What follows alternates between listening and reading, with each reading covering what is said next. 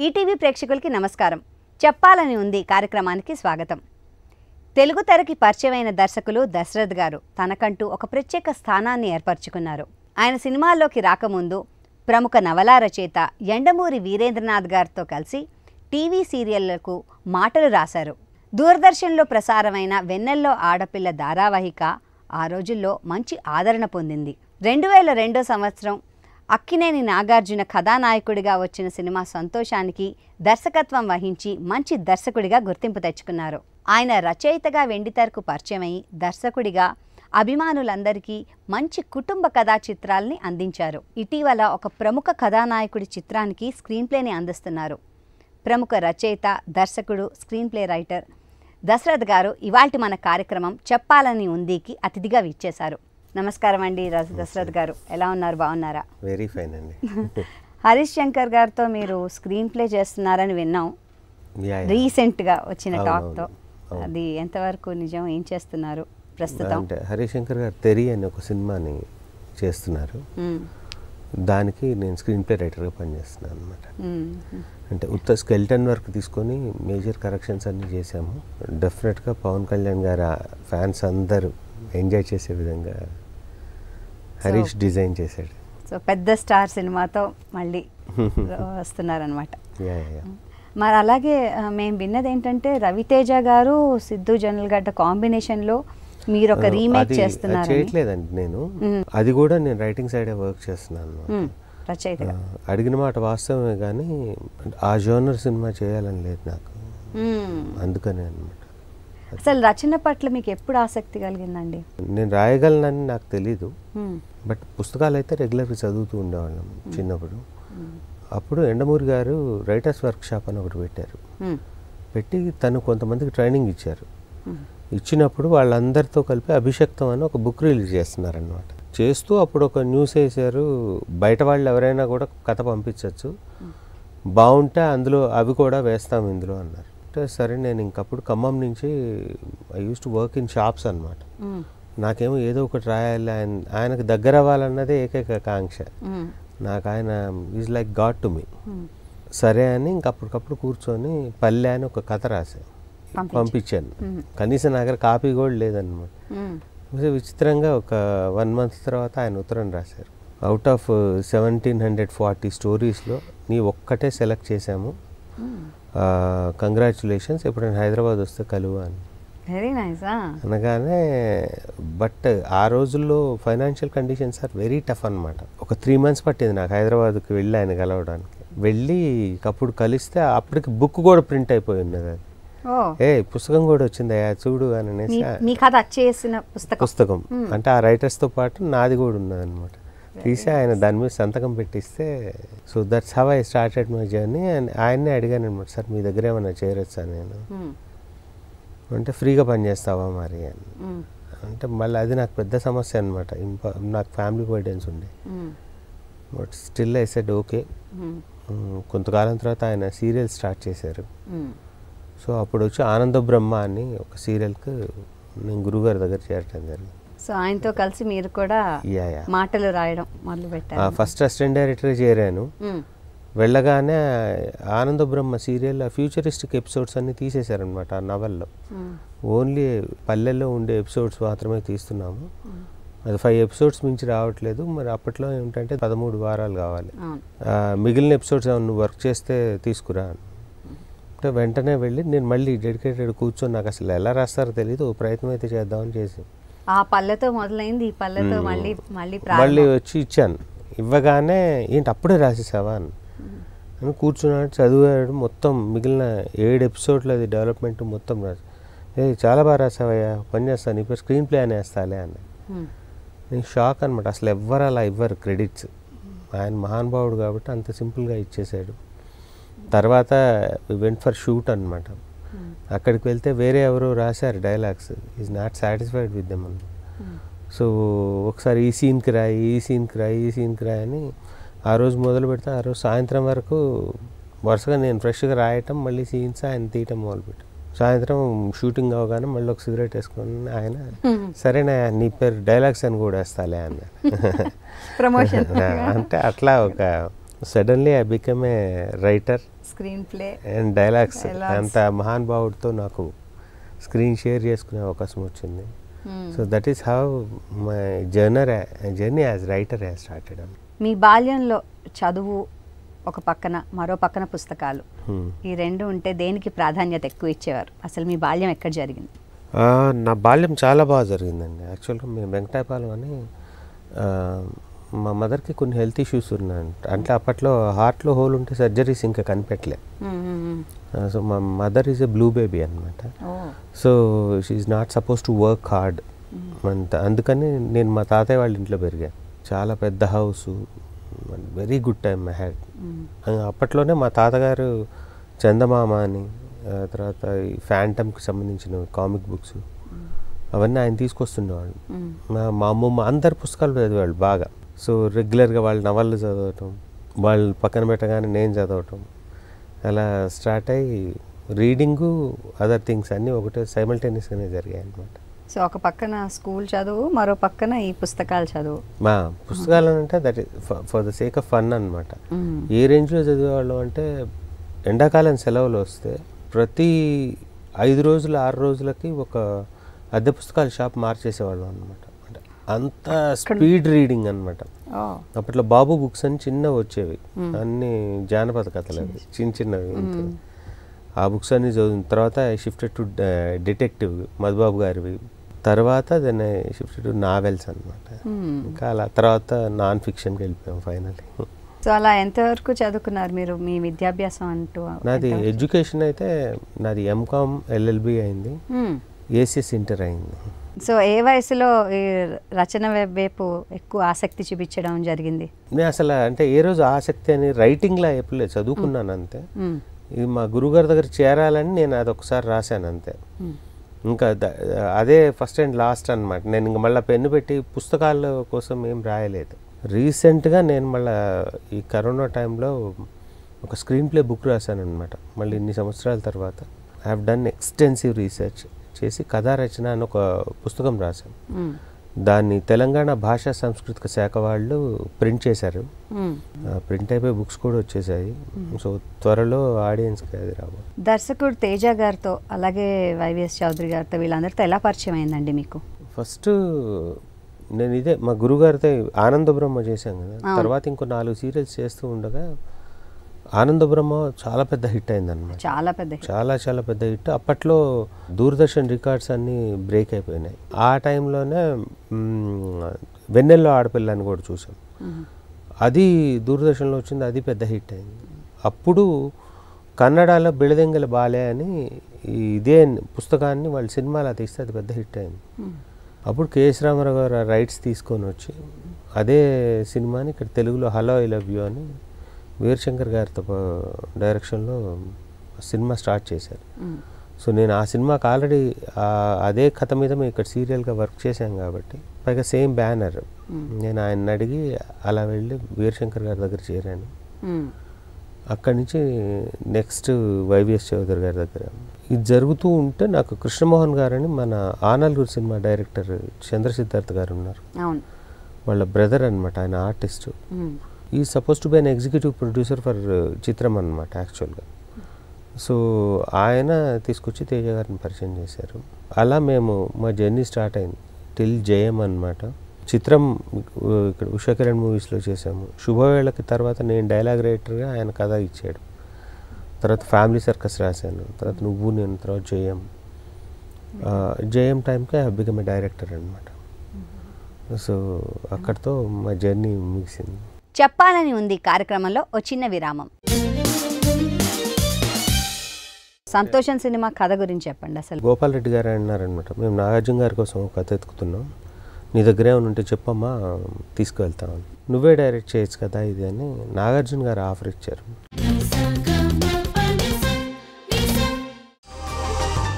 వ్యాధుల నుంచి వైద్యం దాకా వ్యాయామం నుంచి చెకప్ల వరకు ఆహారం నుంచి అలవాట్ల దాకా నిత్యం ఆరోగ్యామృత ధారల్ని పంచుతోంది తెలుగువారి Sanjeevini.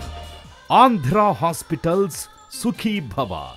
Powered by Anu institute of neuro and cardiac sciences American oncology institute precision cancer care Q one hospitals మరియు రాజమండ్రి జిఎస్ఎల్ క్యాన్సర్ హాస్పిటల్ ప్రతిరోజు మధ్యాహ్నం మూడు గంటల ముప్పై నిమిషాలకు మీ ఈటీవీ ఆంధ్రప్రదేశ్లో.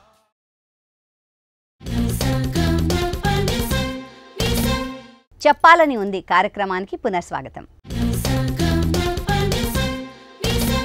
చిత్రం సినిమాకి మీరు రచయితగా చేశారు. యా. ఆ కథ గురించి. తేజ గారిని కలవటం జరిగింది.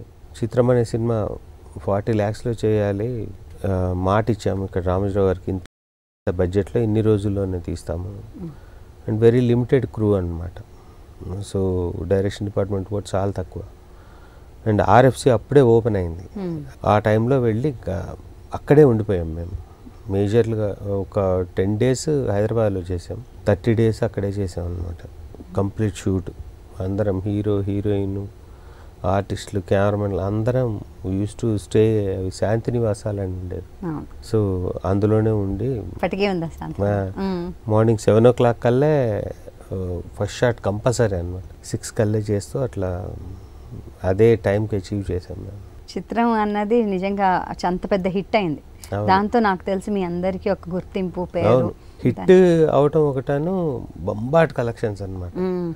అసలు మేము ట్రైలర్ ఆ గాజ్వా ఇదేంటి మామో అని ఒక పాట ఉంటుంది. దాని మీద కట్ చేసామన్నమాట ట్రైలర్. ఆ జునాయిద్ అని ఒక ఆయన చేశాడు. మ్మ్. మార్నింగ్ షోకి ఇక్కడ ఓడియన్ థియేటర్ దగ్గర రిలీజ్ అయింది. మేము కొంచెం కెమెరాలు అవన్నీ పట్టుకొని మేమే అన్నీ షూట్ చేసుకోవాలన్నమాట అన్ని పబ్లిసిటీకి అది. సరే అని వెళ్ళి చూస్తే షాకింగ్గా ఏంటంటే రోడ్డు మీదకి వచ్చేసి ఉందన్నమాట లైన్. మ్మ్. ఊహించలేదు అంటే అంత ఓపెనింగ్స్ వస్తాయి అని. ఇంకా అది చాలా గుర్తింపు వచ్చింది. ఇట్స్ లైక్ ఏంటంటే ఆక్సిజన్. నాకు నెక్స్ట్ బిగ్ స్టెప్ వేయడానికి చాలా సహాయపడ్డ సినిమా అది. ఆ తర్వాత నువ్వు నేను కూడా ఇలా యా. కలిసి ఇంకా. అక్కడి నుంచి నేను డైరెక్టర్ అయ్యేంత వరకు తేజ గారి దగ్గర చేశాను. డైరెక్టర్ అయ్యాక మళ్ళీ నెక్స్ట్ సినిమా సంబరం అని మళ్ళీ తేజ గారి బ్యానర్లోనే చేయడం జరిగింది. సంతోషం సినిమా కథ గురించి చెప్పండి. అసలు ఆ కథ ఎలా అల్లుకున్నారు? దానికి నాగార్జున గారిని ఎలా అడిగారు? మేము సంతోషం సినిమాకు ముందు దుర్గా ఆర్ట్స్లోనే వేరే సినిమా చే ఓకే అయిందన్నమాట. వేరే హీరోతో. చేస్తున్నప్పుడు గోపాల్ రెడ్డి గారు అన్నారనమాట మేము నాగార్జున గారి కోసం కథ ఎత్తుకుతున్నాం. నీ దగ్గర ఏమైనా ఉంటే చెప్పమ్మా తీసుకువెళ్తామని మా దగ్గర యాక్చువల్గా లేదు అప్పుడు. బట్ ఏంటి అంటే ఇంక అప్పటికప్పుడు ఫస్ట్ టైం డైరెక్షన్ అంటే మేము చాలా పెద్ద ప్రోగ్రామ్ పెట్టుకున్నాం అనమాట ఓన్లీ ఆడియో సీడీలదే మేము రాసుకున్న లిస్ట్కి మేమంటే నేను గోపి మోహన్ అన్న ఇద్దరం. మ్మ్. ఎవరు ఫస్ట్ టైం డైరెక్షన్ చేసినా మినిమం ఈ స్టాండర్డ్లో చేయాలి ఇలాంటి మ్యూజిక్ అంతా వినాలి. ముందు వరల్డ్ మ్యూజిక్ అంతా వినాలని ఫిక్స్ అయ్యాం. బట్ అక్కడ ఇంటర్నెట్ ఏం లేదు ఆ రోజుల్లో. అవును. మా పరిస్థితి ఎలా ఉండేదనంటే అసలు ఆదిత్య ఎంక్లేవ్ అని ఇక్కడ ఉండేది. ఇంటర్నెట్ సెంటర్స్ ఉండేవి. ఫస్ట్ వెళ్ళిపోయి రీడిఫ్ మెయిల్లో దశరథ్ అని ఒకటి పాస్వర్డ్ నొక్కి. కిందికి వచ్చి టీ తాగటానికి వచ్చేవాళ్ళం మేము. వస్తే ఇరవై నిమిషాలకు కానీ మెయిల్ ఓపెన్ అయ్యేది. ఇరవై నిమిషాలు మినిమం. ఏదన్నా గూగుల్లో సెర్చ్ చేయాలనంటే ఇట్లా నొక్కితే ఇక అంతే. మళ్ళీ నెక్స్ట్ టెన్ మినిట్స్ దాకా ఏం ఓపెన్ అవ్వదు. అందుకనే టీ తాగి వెళ్ళేవాళ్ళు. అంత స్లోగా ఉంటున్న టైంలో. మేము దాదాపు నేనైతే ఎనిమిది తొమ్మిది గంటలు కూర్చునేవాడిని. గోపి అయితే పదహారు పదిహేడు పద్దెనిమిది గంటలు ఇంకా అలా కూర్చొని మొత్తం బెస్ట్ మ్యూజిక్ ఎవరు బెస్ట్ కెమెరామెన్స్ ఎవరు వాళ్ళ వర్క్స్ ఏంటి ఇవన్నీ చూడడానికి మేడే ప్లాన్ అనమాట సో మాకు దానికి చాలా డబ్బు కావాలి అని అర్థమైంది. నేను చేస్తున్న ఫస్ట్ సినిమా అదేమో కొంచెం చిన్న ప్రాజెక్టు చాలా సింపుల్ రెమ్యునరేషన్ ఉండే. సో అవి సరిపోవు. నాగార్జున గారి కథ ఇస్తే కొంచెం అవన్నీ కొనుక్కోవచ్చు కదా అని మళ్ళీ మేము ఇద్దరం కూర్చొని కథ రా ఫామ్ చేసి. చేస్తే అది వాళ్ళకి నచ్చింది. నాగార్జున గారికి చెప్పమన్నానంటే వెళ్ళి చెప్పడం జరిగింది. చెప్తే ఆయన నువ్వే డైరెక్ట్ చేయొచ్చు కదా ఇది అని నాగార్జున గారు ఆఫర్ ఇచ్చారు. నువ్వు నేరేట్ చేస్తుంటేనే నాకు చాలా బాగా అనిపించింది చేయొచ్చు కదా అన్నాను అనేసి అంటే అట్లా దట్స్ హౌ సంతోషం హ్యాపెండ్ అనమాట.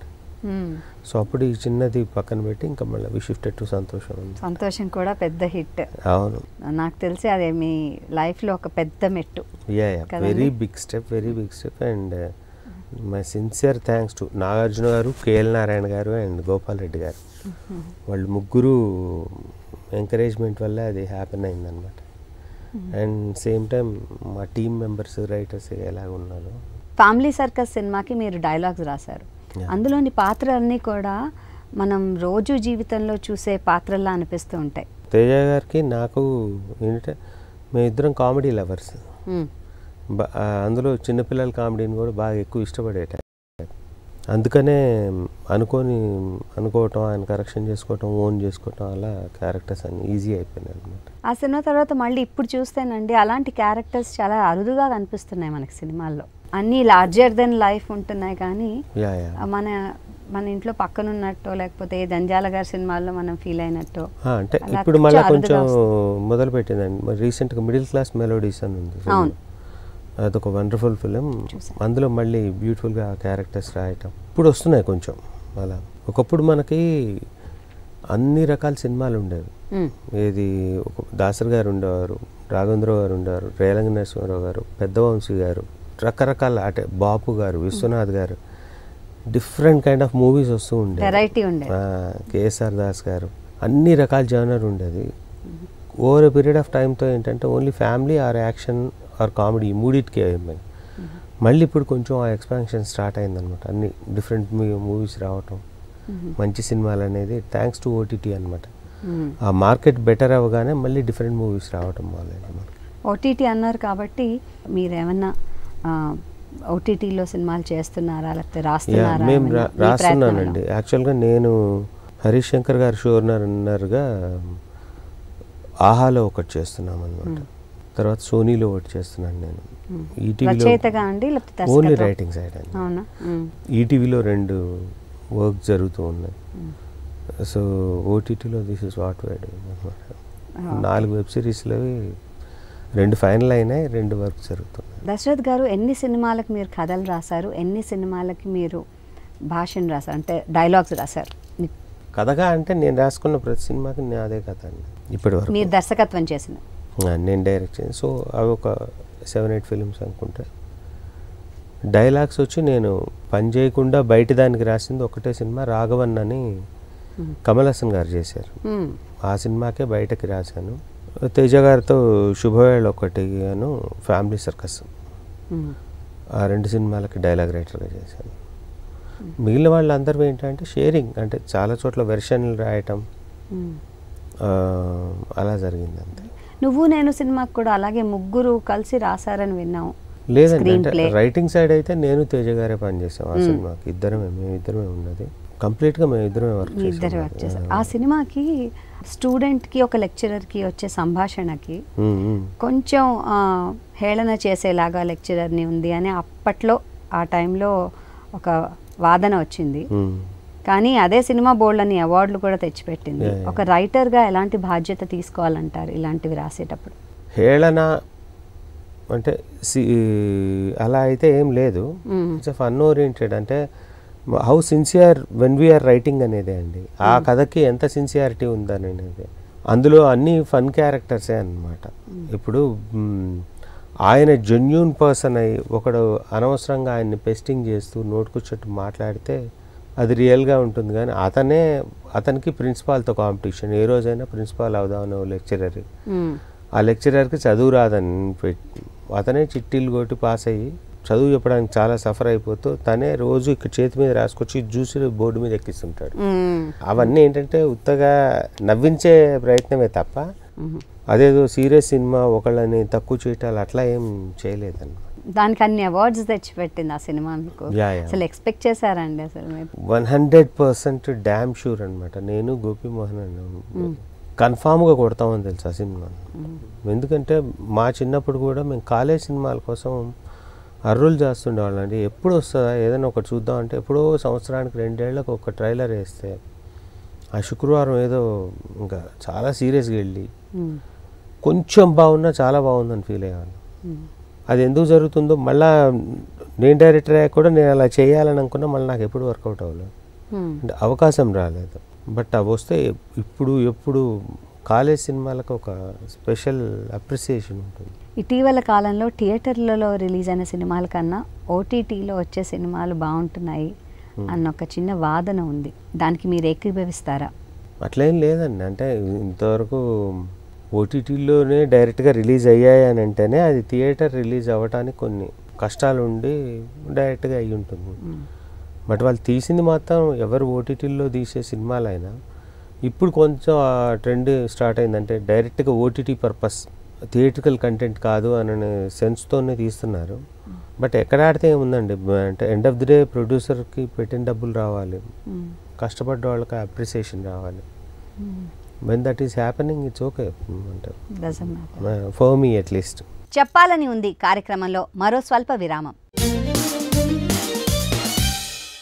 ఒక రచయితగా ఏదైనా వర్క్షాప్ లాంటిది ఉంటే మంచి రచయితలు బయటకు వస్తారు అని మీరు నమ్ముతారా? వన్ థౌజండ్ పర్సెంట్ మంచి జరుగుతుంది అసలు. అందులో డౌటే లేదు. తెలంగాణ గవర్నమెంట్లో మాత్రం మామిడి హరికృష్ణ గారని జెన్యున్లీ హెల్పింగ్ అండ్ వర్కింగ్ అనమాట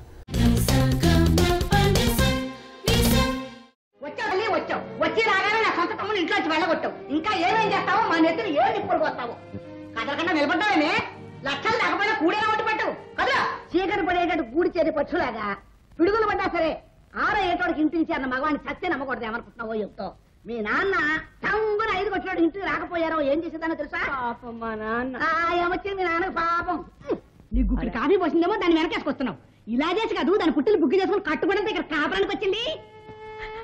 ఆవు అంటే ఏడుపు. ఎప్పుడు నెత్తి మీద ఉంటుంది నేలకుండా గయ్యాళి గుండమ్మత్త సూర్యకాంతం. ఏకలవ్య ఐఏఎస్ అకాడమీ సమర్పించు ఈ వారం వెండితెర వేల్పులలో పవర్డ్ బై ఎస్ఎల్జీ హాస్పిటల్స్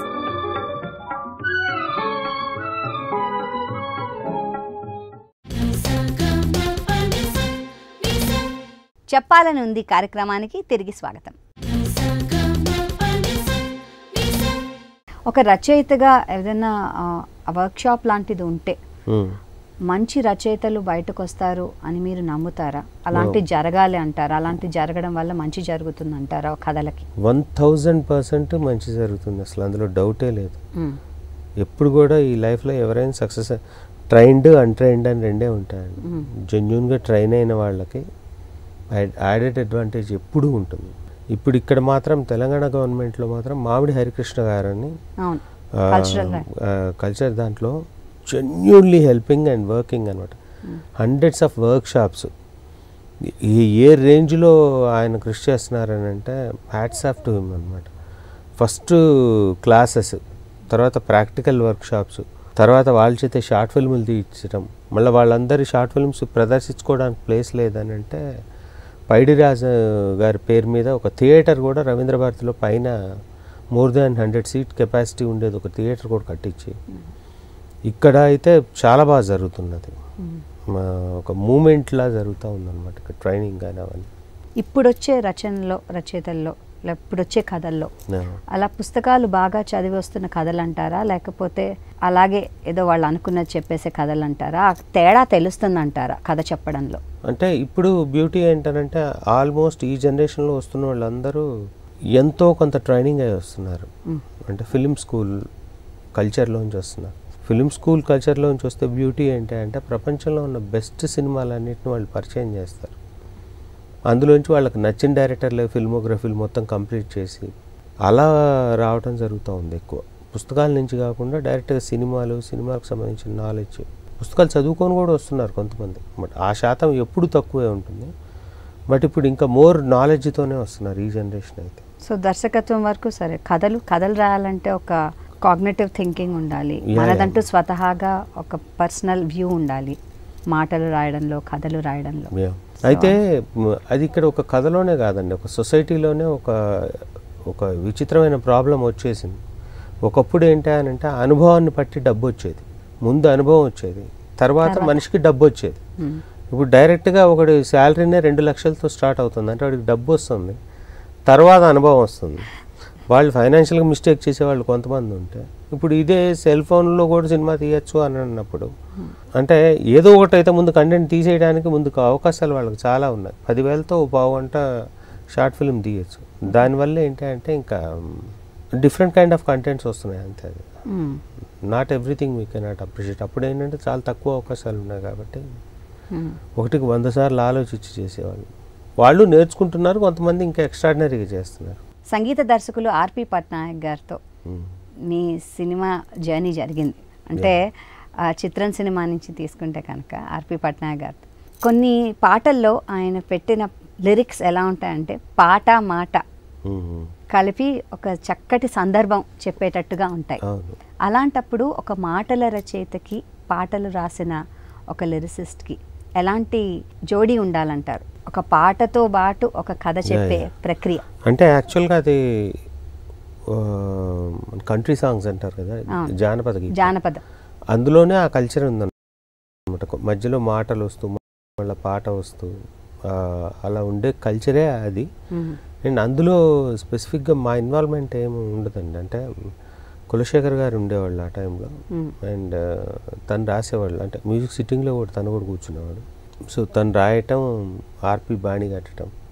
మేము ఉత్తగా ప్రేక్షకుల్లానే తప్పితే మేజర్ ఇన్వాల్వ్మెంట్గా కథ చెప్పడం అది చేసేవారు. కథ అది వీ హ్యావ్ టు సే అది. కథ చెప్పడం వరకే తప్ప ఇంకా అక్కడి నుంచి వాళ్ళు చూనిస్తే అది ఫైనల్గా మేము బాగుందా బాగాలేదా అని చెప్పేయటమే తప్ప ఏమన్నా క్రెడిట్ ఉన్నా దట్ గోస్ టు తేజ గారే అనమాట when it comes to the RP RP Santosham కూడా చేశాడు తర్వాత సంబరం మూవీ చేశాడు. సో ఆ టైంలో ఏంటంటే మళ్ళీ మేము కులశేఖర్ గారు మేము ఇంటరాక్ట్ అయ్యి చేసుకోవటం అట్లా జరిగింది కులశేఖర్ గారి గురించి చెప్పాలండి. లిరిసిస్ట్ గారు చాలా మంచి మంచి మంచి పాటలు అందించారు. అవును.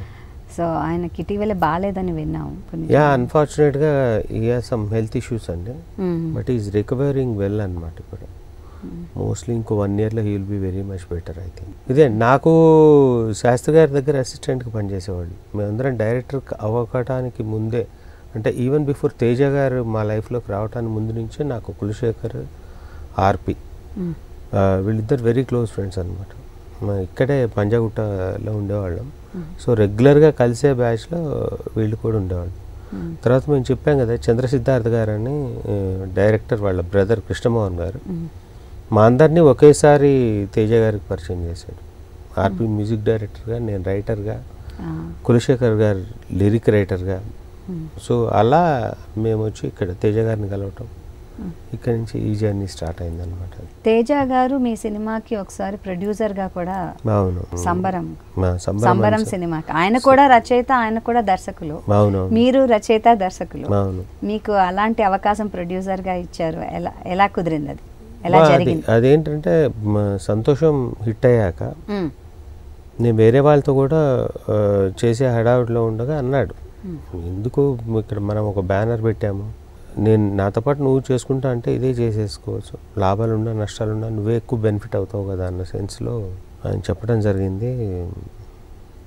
అందుకనే ఆ బ్యానర్లో ఒక సినిమా చేశాను. మీరు రాసినప్పుడు వచ్చే కథలన్నీ కూడా ఒక కుటుంబానికి సంబంధించిందో లేకపోతే ఒక ఇన్సిడెంట్ తీసుకుని దానికి సంబంధించిందో ఉన్నాయి.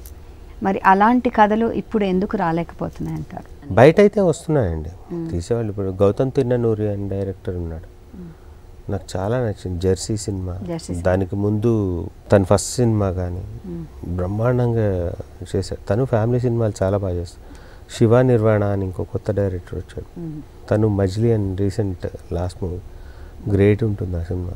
సో వచ్చారు ఇప్పుడు. మరి నేను మీకు ఇంతకుముందు కూడా చెప్పా ఏది మిడిల్ క్లాస్ మెలోడీస్ ఇవన్నీ వస్తూనే ఉన్నాయి. అంటే ఎవరి స్టైల్లో వాళ్ళు ఫ్యామిలీ స్క్రిప్ట్లను ప్రజెంట్ చేస్తూనే ఉన్నారు. దర్శకులే కథలు రాసుకోవడం వల్ల మీలాంటి దర్శకులతో తక్కువ సినిమాలు మాకు అందజేస్తున్నారు. మరి అలాంటప్పుడు యువ రచయితలకు అవకాశం ఇస్తే బాగుంటుంది కదా అని ఒక అభిప్రాయం. అది ఎప్పుడు ఉందండి. అంటే ఈ ఈ జనరేషన్లో ఏంటంటే పోను పోను బయట కథలు తీసుకొని డైరెక్షన్ చేసేవాళ్ళు తగ్గిపోతున్నారు. ఇప్పుడు మళ్ళీ ఓటీటీ కల్చర్ వచ్చాక మాత్రం అది బాగా పెరుగుతుంది. ఇంతకుముందు నేను చెప్పిన మిడిల్ క్లాస్ మెలోడీకి కూడా డైరెక్టర్ ఒకళ్ళు రైటర్ ఒకళ్ళు ఉన్నారు. ఇప్పుడు మళ్ళా కొంచెం నవల్స్ని తీసుకోవటం పాత మంచి కథలను తీసుకోవటం ఇవన్నీ ఇప్పుడు మళ్ళీ స్టార్ట్ అయింది. ఒకప్పుడు ఎస్ ఆ సమస్య ఉండేది. ఇంకో విషయం ఏంటంటే ఇప్పుడు నేను చిత్రం సినిమా ఉంది.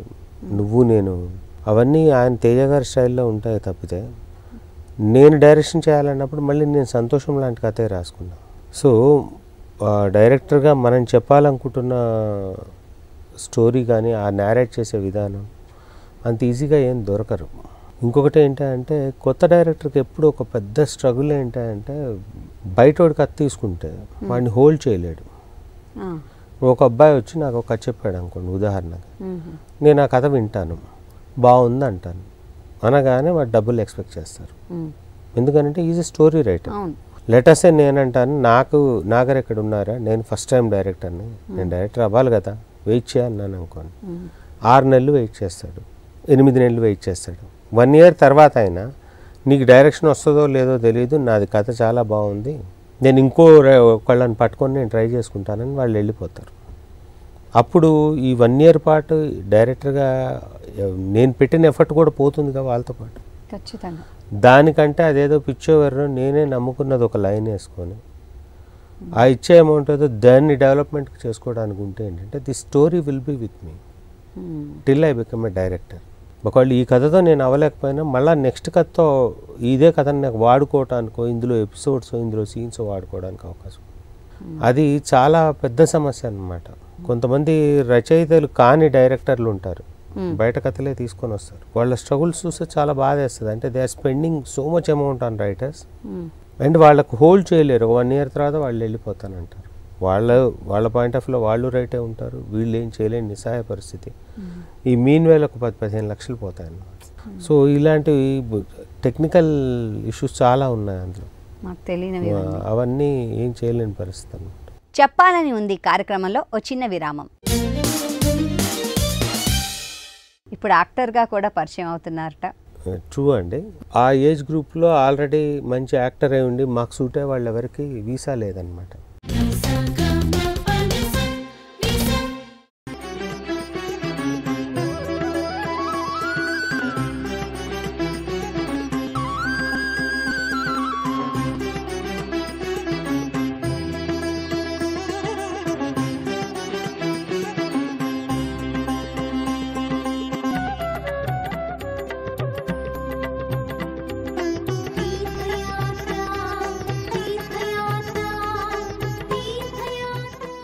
ఆసేతు హిమాచలం మహిమాన్విత ఆలయాల యాత్ర తీర్థయాత్ర. ప్రతిరోజు సాయంత్రం ఐదు గంటల ముప్పై నిమిషాలకు తిరిగి ఉదయం ఐదు గంటల ముప్పై నిమిషాలకు.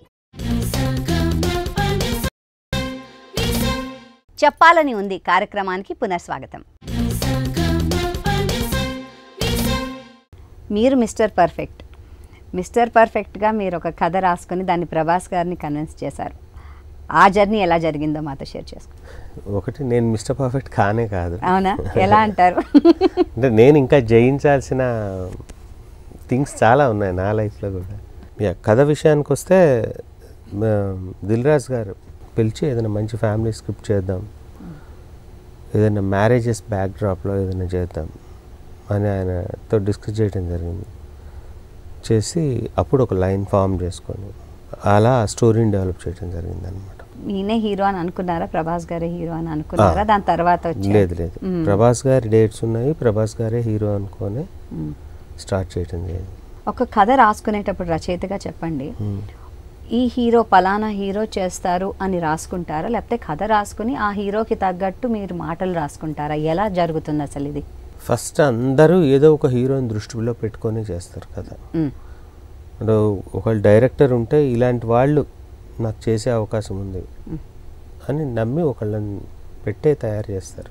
Dialogues comes very la later అనమాట ప్రాజెక్ట్ అంతా హ్యాపెన్ అయ్యి స్టోరీ అంతా లాక్ అయ్యాక వచ్చేది డైలాగ్స్ కథ మాత్రం ఒక హీరోని దృష్టిలో పెట్టుకొని అతని బాడీ లాంగ్వేజ్కి అతని మేనరిజంకి ఏవేవైతే సూట్ అవుతాయో అవన్నీ ఇంక్లూడ్ చేసుకుని చేస్తారు. మీరు రాసుకున్న యాక్టర్ వద్దన్నారు అనుకోండి Hmm. అప్పుడు ఏం చేస్తారు?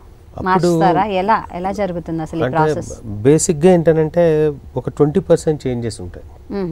కోర్ కంటెంట్ ఏది మారదండి. అండ్ ఒక హీరోకి చెప్పే కథలు ఇంకో పక్క హీరోలకి కూడా అన్నీ సూట్ అవ్వవు. సో ఆ కోర్ కంటెంట్ అలా పెట్టుకొని ఏమైనా కొంచెం కరెక్షన్ చేసుకొని మళ్ళీ చెప్పడం జరుగుతుంది. అదంతా ఫ్యాన్ బేస్ మీద ఉంటుందంటారా? వాళ్ళ లేకపోతే ఇదివరకు చేసిన సినిమాల మీద ఉంటుందంటారా? ఎలా అంటారు? ఎవ్రీథింగ్ అన్నీ. అండి అంటే ఇప్పుడు ఆ హీరోకి ఒక ఇమేజ్ వచ్చి ఉంటుంది ఆల్రెడీ. ఫ్యాన్స్కి ఒక ఎక్స్పెక్టేషన్ ఉంటుంది. అదే టైంలో బయట సినిమాలు ఏమేమి హిట్ అయినాయి ఆ ఇంపాక్ట్ కూడా ఉంటుంది అన్నమాట సో వీటన్నిటిని కలిపి చేస్తారు. మీ అమ్మగారి గురించి చెప్పారు. ఆవిడ పేరేంటి? మీ నాన్నగారు ఏం చేస్తూ ఉంటారు? అంటే మా ఫాదర్ వ్యవసాయం చేసేవాళ్ళు మ్, రామచంద్రరావు అని. మ్. అమ్మ పేరు. సరస్వతి అండి. తను హౌస్ వైఫ్. నాకు ఇద్దరు బ్రదర్స్ ఉన్నారు. తమ్ముళ్ళ. తమ్ముళ్ళు మీరు అన్నగారు. ఒకడు మ్యూజిక్లో ఉన్నాడు ఒకడు కెమెరా డిపార్ట్మెంట్లో ఉన్నాడు. అవునా. సో దట్స్ ఆల్ మ్యూజిక్ అంటే సినిమాలకి మ్యూజిక్ అందిస్తుంటారా? నాకు శౌర్య అనే సినిమాతో తను మ్యూజిక్ డైరెక్టర్గా ఇంట్రడ్యూస్ అయ్యాడు. ఓ. మేజర్లీ ఇంటూ బ్యాక్గ్రౌండ్ స్కోర్ అనమాట. తను చాలా సినిమాలకు బ్యాక్గ్రౌండ్ స్కోర్ వావ్. మీరు ఇంట్లో ఇంతమంది సినిమా వాళ్ళు ఉన్నా ఇంట్లో అసలు సినిమా సంభాషణే జరగదని విన్నాం. అట్లేం లేదు. అంటే మా వైఫ్ అంత మూవీ బఫ్ కాదు. సో అంత అవతల వాళ్ళకి ఇంట్రెస్ట్ లేదు మనమే మాట్లాడతాం. మీ అట్లీస్ట్ మీ అన్నదమ్ములనే మాట్లాడుకుంటుంటారా ఈ. సినిమా ఇలా హండ్రెడ్ పర్సెంట్. అదే ఉంటుంది మేజర్. మేజర్గా అదే ఉంటుందా? ఓకే. సో మీరు చేసే సినిమాల్లో కూడా ఆయన ఏమైనా మ్యూజిక్కి ఏమైనా Yeah. ఆర్ఆర్ అది తీసుకుని ఇప్పుడు ఇప్పుడు నేను ఒక సినిమా ప్రొడ్యూస్ చేశానండి. దానికి కూడా తనే మ్యూజిక్ డైరెక్టర్ పేరు చెప్పరు. లవ్ యూ రామ్ అని ఒక సినిమా ప్రొడ్యూస్ చేశాం. నేను మన ఎంటర్టైన్మెంట్స్ అని మన స్టూడియోస్ డివై చౌదరి మ్మ్. ఇద్దరం కలిసి ప్రొడ్యూస్ చేశాము. నేను స్టోరీ మాత్రమే ఇచ్చాను. I didn't direct that movie. So దానికి కూడా తనే మ్యూజిక్ డైరెక్టర్ అనమాట మీ తమ్ముడు గారి పేరు అడుగుతుంది మా తమ్ముడి పేరు వచ్చి వేదగిరి అని సో మీకు ఎలాంటి కథాంశాలు ఇష్టం అండి మీకు మీ ఫేవరెట్స్ ఏంటి? మీకు ఇష్టమైన రచయితలు ఎవరు? దర్శకులు ఎవరు? నేను ఎక్కువ కథకే ఇష్టపడ్డది అంటే డైరెక్టర్స్ కూడా వాళ్ళ సినిమాలు ఇష్టపడతాను ఎక్కువగా తప్ప పర్సనల్గా ఏం చేసినా నచ్చేది విశ్వనాథ్ గారు ఒకరు. ఇక్కడ. అట్లా కొంతమంది ఉన్నారు directors. Once upon a time Mani Ratnam garu ఏం చేసినా నాకు చేసేది నాకు మ్మ్. ఒకప్పుడు. రోజా అంజలి ఆ. టైం ఆ స్పెల్లో విపరీతంగా ఇష్టపడేవాడిని బట్ తర్వాత కూడా ఏంటంటే ఇప్పుడు సినిమాలను ఎక్కువ ఇష్టపడుతున్నాను డైరెక్టర్ ఫలానా వాళ్ళనేది కాకుండా డైరెక్టర్గా ఇప్పుడు మిస్కిన్ చేసినది నాకు చాలా ఇష్టం. ఇప్పుడు మిత్రన్ అనే మొన్న సర్దార్ ఫిల్మ్. అతని రైటింగ్ అట్లీవి కొన్ని మూవీస్. తమిళ్ళో ఇక్కడ హిందీలో అంటే డైరెక్టర్స్గా ఇష్టపడే వాళ్ళు ఉన్నారు మోర్ ఆఫ్ ఏంటంటే ఇప్పుడు వాళ్ళు చేసిన ప్రాజెక్టులనే ఇండివిజువల్గా ఎక్కువ ఇష్టపడుతున్నారు. అంటే అది over a period of time వచ్చిన మార్పు. ఒక రచయితగా డైలాగ్ రైటర్గా చెప్పండి. ఆ హీరోకి ఉన్న ఒక విలన్కి ఉన్న స్థాయి వేరే ఆర్టిస్టులకి ఎస్పెషలీ ఫీమేల్ ఆర్టిస్టులకి తక్కువ అరుదుగా కనిపిస్తూ ఉంటుంది. ఇది వరకు ఒక సూర్యకాంతమ్మ గారు ఒక నిర్మలమ్మ గారు లేకపోతే వేరే ఆర్టిస్ట్లో బాగా కనిపించేవారు. వాళ్ళకు ఒక ప్రత్యేక స్థానం ఉండేది. అలాంటిది రాను రాను స్త్రీల పాత్ర కూడా తగ్గుతోంది. దానికి ఏంటి కారణం అంటారు? ఇప్పుడు నడుస్తున్న కథలేనండి. నడుస్తున్న కథలే. ఒకప్పుడు ఒక స్పెసిఫిక్ కమెడియన్స్కి కూడా ఆకాశానికి అంటే హీరోలతో సమానమైన గౌరవం ఉండేది. అది బ్రహ్మానందం గారి తర్వాత ఇంకెవరికి రాలేదు. మీరు గమనిస్తే. ఒక సెవెంటీ ఎయిటీ పర్సెంట్ బ్రహ్మానందం గారు అంటే కనిపించగానే కేకలు పెట్టేంత ఇంకా ఆయనతో పోయింది. అంతకుముందు రాజ్బాబు గారు ఉండేవాళ్ళు. ఇంకా వేరే వాళ్ళు ఉండేవాళ్ళు. ఇప్పుడు రావట్లేదు ఏంటి అన్నానంటే ఇది కాలంతో వస్తున్న మార్పు. అప్పట్లో ఏంటి అంటే మనకు సినిమా మొత్తం ప్యాకేజ్లా హాస్యం ఉండేది మ్యూజిక్ ఉండేది డ్యాన్స్లు ఉండేవి అన్నీ ఉండాలి.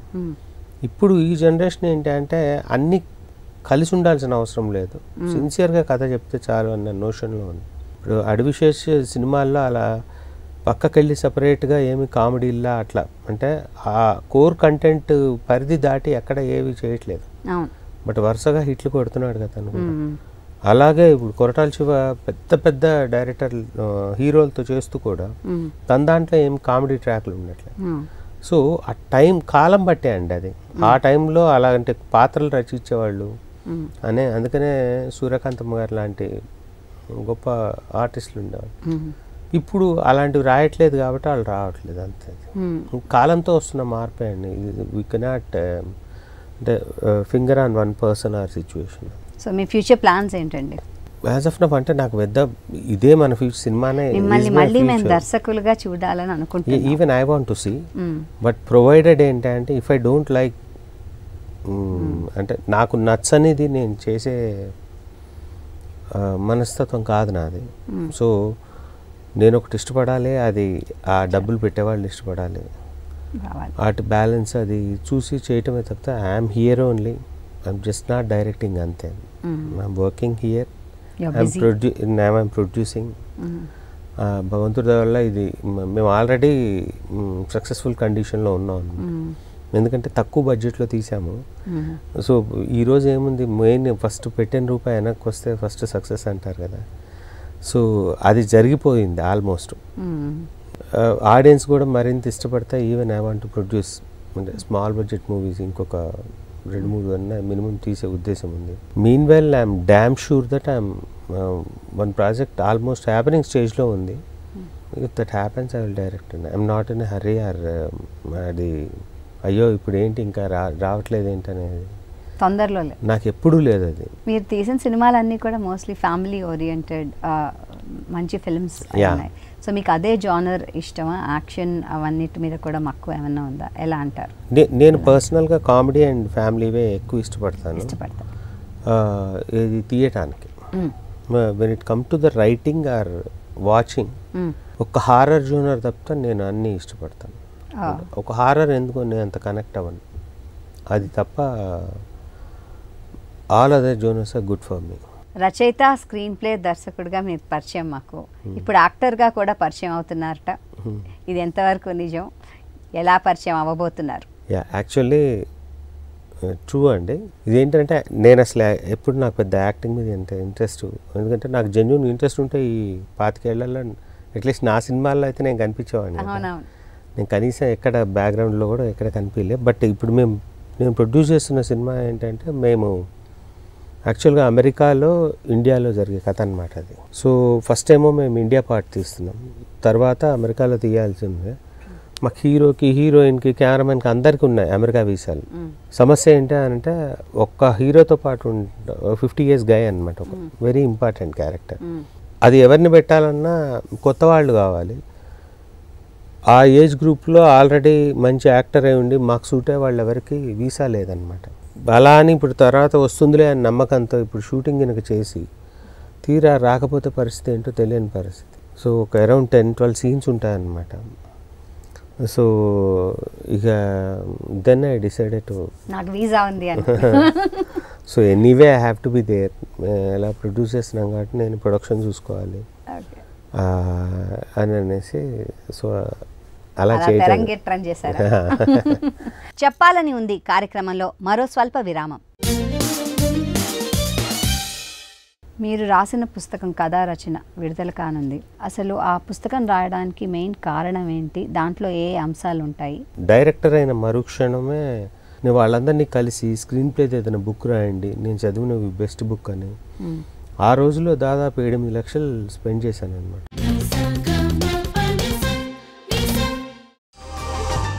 వ్యాధుల నుంచి వైద్యం దాకా. వ్యాయామం నుంచి చెకప్ల వరకు ఆహారం నుంచి అలవాట్ల దాకా నిత్యం ఆరోగ్యామృత ధారల్ని పంచుతోంది తెలుగువారి Sanjeevini.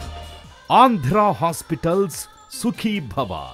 Powered by Anu institute of neuro and cardiac sciences American oncology institute precision cancer care హ్యూవన్ hospitals మరియు రాజమండ్రి జిఎస్ఎల్ క్యాన్సర్ హాస్పిటల్. ప్రతిరోజు మధ్యాహ్నం మూడు గంటల ముప్పై నిమిషాలకు మీ ఈటీవీ ఆంధ్రప్రదేశ్లో. చెప్పాలని ఉంది కార్యక్రమానికి తిరిగి స్వాగతం. మీ ఫ్యామిలీ గురించి చెప్పండి మీ శ్రీమతి గారు మీ పిల్లలు.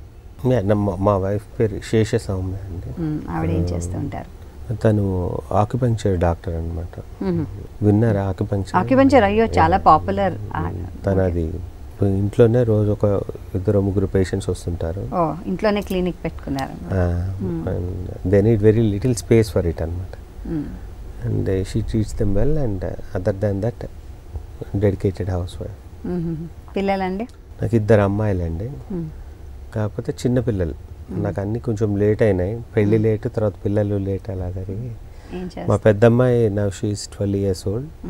And చిన్నది ఎయిట్ ఇయర్స్ అనమాట పెద్దదాని పేరు సరస్వతి చిన్నదాని పేరు షణ్ముఖ ప్రియ. మీరు రాసిన పుస్తకం కథా రచన విడుదల కానుంది. సో ఆ దానికి సంబంధించి అసలు ఆ పుస్తకం రాయడానికి మెయిన్ కారణం ఏంటి? దాంట్లో ఏ అంశాలు ఉంటాయి? ఫస్ట్ ఏంటంటే నేను నేర్చుకుంది చాలా స్క్రీన్ ప్లే బుక్స్ చదివే. అది తెలుగులో అలాంటి బుక్స్ ఏమైనా ఉంటే బాగుండని నేను డైరెక్టర్ అవ్వక ముందు నుంచి కోరుకుంటున్నాను అనమాట ఎందుకంటే నేను ఇంగ్లీష్ గురించి నేను చాలా స్ట్రగుల్ అవుతూ ఉండేవాడిని ఇక్కడ ఇండస్ట్రీకి వచ్చాక కూడా.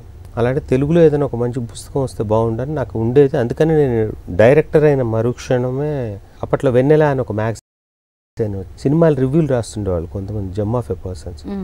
నేను వాళ్ళందరినీ కలిసి స్క్రీన్ ప్లేది ఏదైనా బుక్ రాయండి నేను చదివినవి బెస్ట్ బుక్ అని. ఆ రోజులో దాదాపు ఎనిమిది లక్షలు స్పెండ్ చేశాను అనమాట అంటే అది ఆల్మోస్ట్ ట్వంటీ ఇయర్స్ బ్యాక్. ఇప్పుడు లెటర్సే ఒక యాభై లక్షలు ఖర్చు చేశాను అనుకోండి వాళ్ళ మీద. ఏది ఫోకస్డ్గా లేదనమాట ఆ బుక్ కొంతమంది అయితే డైరెక్ట్గా ఎత్తేసి రాయటం. సరే అని అట్లా కాదని తర్వాత కూడా నా ప్రయత్నాలు జరిగాయి. అప్పుడు ఉంటూ ఉండగా శౌర్య అయిపోయిన తర్వాత నేను మళ్ళీ ఉత్తగా అన్ని రీవిజిట్ చేయటం మొదలుపెట్టాను ఆ స్క్రీన్ ప్లే బుక్ అప్పుడు నాకు అనిపించింది నేను అసలు రాయొచ్చు కదా అని. అని genuinely I have done extensive research on it for fourteen months అనమాట చేసి చాలా తక్కువ పేజెస్లో చెప్పాలి ప్లస్ చాలా ఫోకస్డ్గా ఉండాలి. బేసిక్గా ఏంటంటే థాట్ టు థియేటర్ మనకు ఒక ఆలోచన వచ్చిన దగ్గర నుంచి అది స్క్రీన్కి వెళ్ళేంత వరకు. జరిగే ఎంటైర్ ప్రాసెస్ని కూడా రాయాలనుకొని నేను ఈ బుక్ రాయటం జరిగింది. దాంట్లో స్పెషాలిటీ ఏంటంటే ఇప్పుడు ఇండస్ట్రీలో ఉన్న అందరూ ఏదో ఒక స్క్రీన్ ప్లే బుక్ అయితే ఈ జనరేషన్ వాళ్ళు కూడా చదువుంటారు. అంటే ఇప్పుడు వరకు ఉన్న పుస్తకాలు అన్నిట్లో at least ninety eight percent of the books మీరు ఒక కథ అనుకుంటే ఆల్రెడీ మీరు ఒక కథ అనుకుంటే దానికి స్క్రీన్ ప్లేలో ఎలా పెట్టుకోవాలో. చెప్పటమే తప్ప. బట్ మన కథ అనుకోవటానికి ముందే అసలు మన కథ అనుకుంటేనే అది సక్సెస్ ఆఫ్ ఫెయిల్యూర్ అక్కడే డిసైడ్ అయిపోతుంది. దాన్ని ఎంత ఎందుకంటే ఇప్పుడు హాలీవుడ్ ఉంది సినిమాలు. ఆల్మోస్ట్ అన్ని కథలు స్క్రీన్ ప్లే ఫా రైట్ ఫార్మేట్లోనే ఉంటాయి. ప్రాపర్ స్ట్రక్చర్లో ఉంటాయి. బట్ అవి కూడా ఫ్లాప్ అవుతున్నాయి కదా. ఎందుకు ఇది అని అనేసి అప్పుడు నేను స్ట్రక్చర్ ఈజ్ నాట్ ఎనఫ్ అని ఒక పేరు పెట్టి ఒక బుక్ రాయడం స్టార్ట్ చేశాను. Not only the structure there are many more elements తర్వాత అందులోంచి చూస్తూ ఏంటంటే ఇంత చదువుకున్నా కూడా ఎందుకు పోతా ఉందని ఆ పేరు పుస్తకం పేరు మళ్ళా నాలెడ్జ్ ఒక్కటే సరిపోదు. ఆడిటోరియాన్ని ఎంటర్టైన్ చేయాలన్న ఒక ప్రగాఢమైన కోరిక రచయితలో లేకపోతే ఎక్కడో తన సొంతది చెప్పాలన్న గోల్ ఎక్కువైపోతుంది. ఆడు పక్కకి వెళ్ళిపోతాడు. అండ్ చాలా మంచి కథలు చదువు అందరూ నా టైంలో కూడా మీకు ఎవరు ఇన్స్పిరేషన్ అంటే మేమందరం మణిరత్నం లేదా రామ్ గోపాల్ వర్మ అనేవాళ్ళం. బట్ మేము డైరెక్టర్ అయ్యాక మాత్రం ఒక్క సినిమా కూడా ఆయన వాళ్ళ స్థాయిలో మేము తీయలేదు. ఎక్కడ జరుగుతున్నది? ఈ- ట్రా ట్రాన్స్లేషన్ ఎక్కడ లాస్ట్ అయిపోతా ఉంది ఇది అని అంటే ప్యాషన్ టువర్డ్స్ ఫిలిం అనేది తగ్గిపోయి మన స్టైల్ ఆఫ్ ఫిల్మే ఎక్కువ డామినేట్ చేస్తూ ఉంది మనుషుల్లో అని అనిపించింది. వీటన్నిటిలోంచి ఏంటనంటే నేను పుస్తకం రాశాను ఒకటి. అది మిగిలిన స్క్రీన్ ప్లే బుక్స్ ఇప్పటి వరకు వచ్చిన వాటికి నేను రాసిన బుక్కు తేడా ఏంటి అని అంటే ఫస్ట్ ఫండమెంటల్గా అన్ని screenplay books classic movies తీసుకుంటారు. అంటే అవేవి కమర్షియల్గా హిట్ కావు. క్లాసిక్గా ఒక ఆస్కార్ అవార్డు రావటం పది మంది చేత గౌరవించబడ్డ. బుక్సే తప్ప ఇంకా చెప్పాలంటే సామాన్యుడి భాషలో ఆర్ట్ ఫిల్మ్లు అవి. Art films. సో నేను ఫస్ట్ అసలు ఆ సెటప్ వద్దని నేను వరల్డ్ వైడ్ బ్లాక్ బస్టర్ మూవీస్ని తీసుకొని రాయటం జరిగింది. అది అవతారు టైటానిక్ ఇక్కడ మన రంగస్థలం అర్జున్ రెడ్డి ఇలాంటి సినిమాల మీద ఎనాలిసిస్తోనే చెప్పడం జరిగింది. First thing. రెండోది ఏంటంటే నేను రాస్తున్నప్పుడు నాకు అప్పుడు అర్థమైంది. ఎందుకంటే అందరూ ఏదో ఒక టైంలో ఒక స్క్రీన్ ప్లే బుక్ అయితే తీసి చదువుతారు. ప్రతి ఒక్క డైరెక్టర్ ఈ ఫిల్మ్ ఎంతోసియాస్టిక్ ఎవరైనా. బట్ సమస్య ఏంటంటే ఆ పుస్తకం చదవగానే ఇప్పుడు వా- అతనికి నచ్చిన సినిమానే ఆ స్ట్రక్చర్లో పెట్టి ట్రై చేస్తారు చూడటానికి. అందులో ఇమ్మడదు ఇమ్మడకపోగానే ఏంటి అంటే సో ఇది అక్కర్లేదన్నమాట ఈ స్క్రీన్ ప్లే అది లేకపోయినా హిట్ అయింది కదా అని అనుకుంటాడు. దానికి కారణం ఏంటి అని అంటే ఏంటి? ఎందుకు అలా జరిగింది? అననే దాన్ని అంటే in many dimension it's a very good book అండి. And it's only one twenty five pages అలా ఉంటుంది. చాలా చిన్న బుక్ బట్ మీరు అసలు అంటే ఫస్ట్ అసలు మనం ఎలాంటి కథ తీసుకోవాలి? ఆ, ఏ కథ తీసుకుంటే ఎలా ఎండ్ అవుతుంది? అసలు ముందు మనం ఎత్తుకున్న పాయింట్లో స్ట్రెంగ్త్ లేకపోతే దాన్ని బతికించే ప్రోగ్రామ్ పెడతాం. స్ట్రెంగ్త్ అంటే ఏంటంటే ఫస్ట్ కనీసం ఓపెనింగ్ మిడిల్ ఎండ్ మూడు చూడగలగాలి ఒకటి. తర్వాత ఒక బేసిక్ ఫైవ్ క్వశ్చన్స్ ఉంటాయన్నమాట. అవి స్టేజ్ వన్లో. దాని తర్వాత ఒక పది పేజీల స్క్రీన్ ప్లేగా ఎలా మర్చుకోవాలి ఆ కథని? పది పేజీలది మళ్ళీ ఒక డెబ్బై పేజీల స్క్రీన్ ప్లే ఎలా చేసుకోవాలి? ఇది చేసుకునేటప్పుడు ఏంటి అని అంటే చాలామంది కథ మొత్తం రాసుకున్నాక ఇందులో ఎంటర్టైన్మెంట్ లేదయా అంటారు ఒకళ్ళు. అనగానే అప్పుడు కామెడీ గుచ్చాలని ట్రై- చేస్తారు. కొంతమంది ఏమో హీరోయిజం లేదంటారు. అప్పుడు అప్పుడు పెడతారు. సో అట్లా కాకుండా ఏంటంటే నేను లాస్ట్ ఈ టూ థౌజండ్ వరకు రిలీజ్ అయిన అన్ని సినిమాల లిస్ట్ తీసుకొని. బ్లాక్ బస్టర్ అయిన సినిమాల్లో అందులో ఏముంది ఏముంది అని అనేసి చూస్తూ ఒక నైన్ పాయింట్స్ రాయటం జరిగింది. వాటిల్లో బెస్ట్ది ఏది మనకు తెలియకుండానే మన కథలో మినిమం ఫోర్ ఎలిమెంట్స్ వచ్చేస్తాయి. ఎనీ గివెన్ బ్లాక్ బస్టర్ సినిమాలో ఆ ఫోర్ ఎలిమెంట్స్ ఉంటున్నాయి. నీకేది కమాండ్ ఉంది? ఇప్పుడు అందరు కామెడీ రాయలేకపోవచ్చు. అందరు హీరోయిజం రాయలేకపోవచ్చు. బట్ నీ శక్తి ఏంటి? నీ బలం ఏంటి? దాన్ని ఎలా మోర్ స్ట్రెంగ్తన్ చేసుకోవాలి? నీ బలహీనత ఏంటి? దాన్ని ఎలా అధిగమించాలి. ఈ పర్స్పెక్టివ్లోనే ఎక్కువగా చెప్పటం జరిగిందనమాట ఎందుకు? కొన్నిసార్లు మనకు ఇష్టం లేకపోయినా ఆడిటోరియం ఇష్టపడుతున్నప్పుడు అవి ఎలా తీసుకురావాలి.